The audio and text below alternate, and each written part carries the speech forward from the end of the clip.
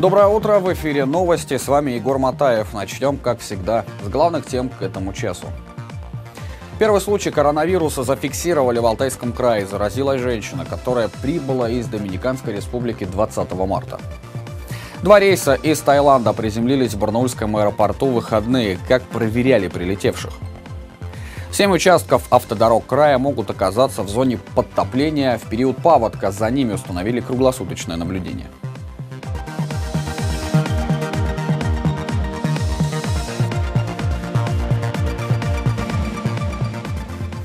Первый случай коронавируса зафиксировали в Алтайском крае. Заразилась женщина, которая прибыла из Доминиканской республики 20 марта. Все это время она находилась в режиме самоизоляции. Инфекцию у нее выявили на 10-й день после прибытия в Россию. Сейчас женщина находится в пятой городской больнице Барнаула. Ее состояние удовлетворительное. Клинических симптомов заболевания нет. Уже известно, с кем контактировала заболевшая. Организовано медицинское наблюдение и лабораторное обследование. Проверяют мужа женщины. Сейчас он изолирован. Анализы исследуют в Государственном научном центре вирусологии и биотехнологии «Вектор» Новосибирска. Вся оперативная информация о первом случае и развитии ситуации находится на контроле губернатора края Виктора Томенко. Накануне заместитель главы Совета безопасности России Дмитрий Медведев призвал граждан оставаться дома и не выходить на улицу без лишней необходимости, а провести время с семьей и заняться самообразованием. Дмитрий Медведев особенно подчеркнул, что эту нерабочую неделю нельзя называть каникулами. Также призвал не поддаваться панике. Предпринимаются все необходимые меры по борьбе с коронавирусом. Российские медики достойно проходят через труднейшее испытание – круглосуточно помогая пациентам. Хочу их за это отдельно поблагодарить. И благодаря этому удается сдерживать быстрое распространение болезни. Соблюдать установленный режим и ограничительные меры попросил горожан и глава Барнаула Вячеслав Франк. Он порекомендовал барнаульцам чаще мыть руки, носить маски, избегать тесных контактов с людьми и не посещать общественные места, а также соблюдать гигиену. В краевой столице закрыты все спортивные секции, детские центры, кинотеатры и ночные клубы. Отменены все концерты, культурные мероприятия и соревнования. Школы готовятся перейти на дистанционное обучение. Ограничена работа магазинов, ресторанов и кафе. Работают аптеки и продовольственные магазины. Кафе и рестораны функционируют только в режиме доставки и еда на вынос. И в продолжении темы. Два рейса из Таиланда приземлились в Барнаульском аэропорту в выходные. Как проверяли прилетевших? Ответы у Ивана Горбатова.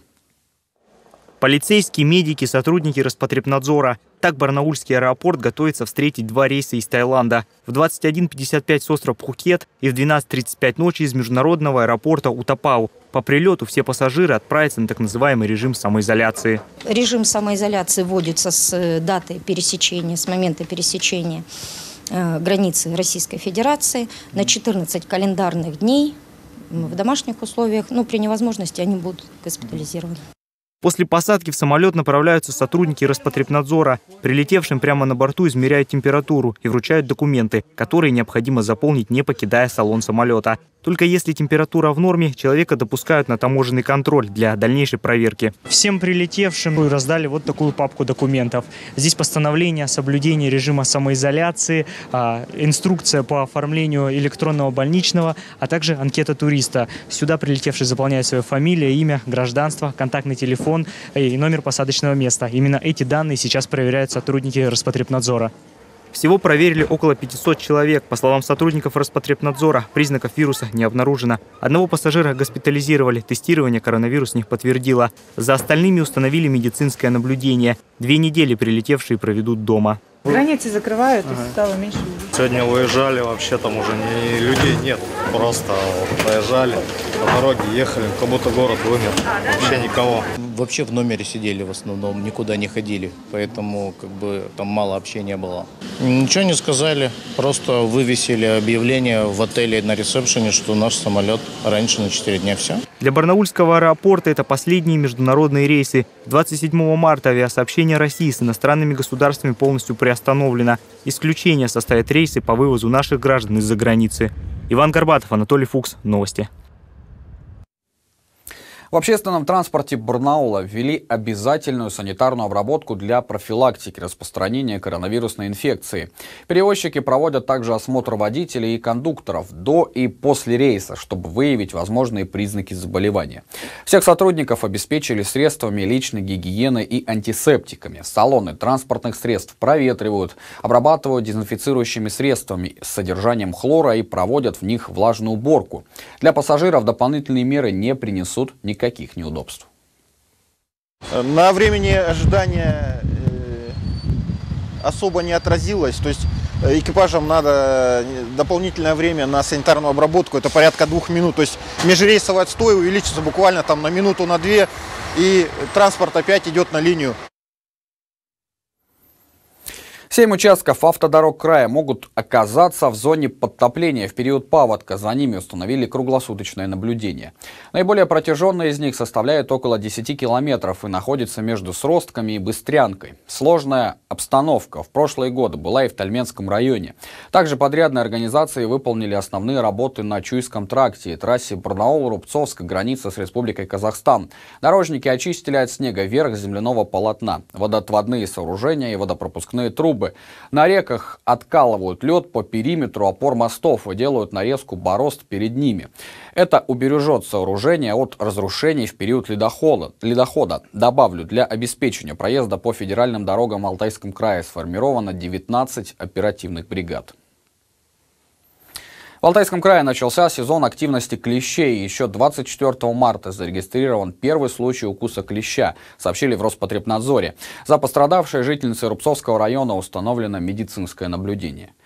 Пик активности клещей прогнозируют на май. Однако опасность сохранится в течение всего теплого времени года. Специалисты управления Роспотребнадзора по Алтайскому краю рекомендуют на прогулках в лесных зонах отдыха и во время выездов на природу соблюдать основные меры профилактики. Регулярно проводить самоосмотр, носить плотно прилегающую одежду и использовать репелленты. А при укусе клеща необходимо своевременно обратиться за медицинской помощью. Противоклещевой иммуноглобулин детям до 14 лет вводят бесплатно. Взрослых обслуживают по страховым полисам. Впервые за долгие годы симфонический оркестр Государственной филармонии края сыграл концерт при пустом зале. Как это было, подробнее расскажет Владислав Кириенко. В коридорах филармонии рабочая атмосфера. Музыканты симфонического оркестра готовятся выйти на сцену. Вроде бы все как всегда, однако... До начала концерта считанные минуты, но в зале не души. Сегодня в филармонии концерт необычный, в режиме онлайн. Выступление перед виртуальным зрителем – мера вынужденная, причины называть излишне, но ответственности не меньше. Тем более для музыкантов это фактически первый опыт игры на пустой зал.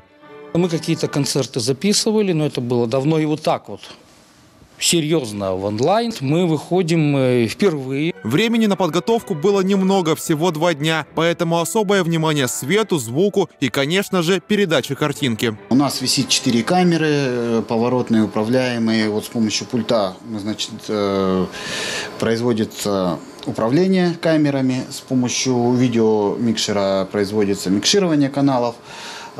Все поступает в компьютер, оттуда уже, соответственно, в интернет программе часового выступления классика симфонической музыки, увертюра к опере Руслана Людмила Глинки, полонез Чайковского из Евгения Онегина, персидский марш Штрауса. Словом, все, что можно узнать с первой ноты.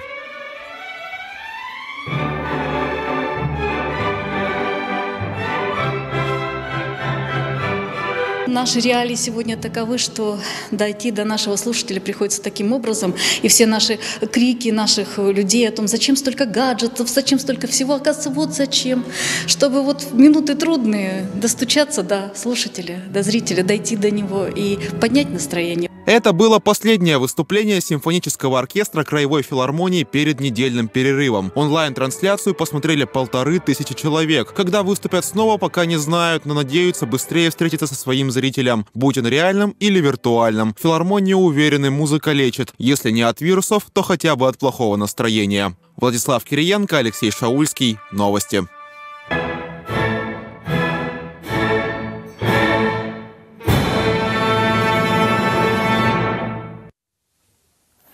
К этому часу у меня все. Продолжим ровно в 13.00 в эфире телеканала Катунь 24.